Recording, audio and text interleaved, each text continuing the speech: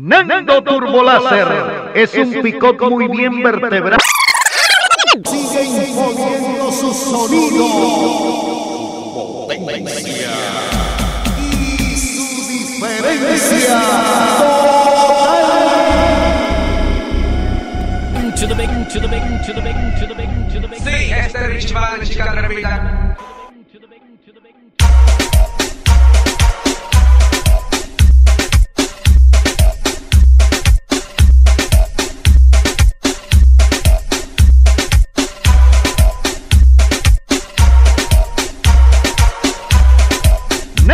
没有了。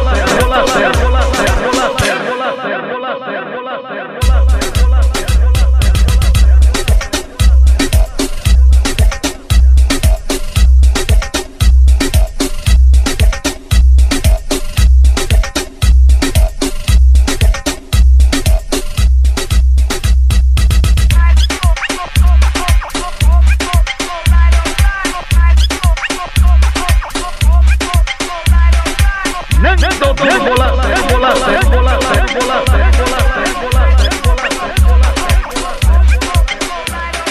Nando Lacerda, Lacerda, Lacerda, Lacerda, Lacerda, Lacerda, Lacerda, Lacerda, Lacerda, Lacerda,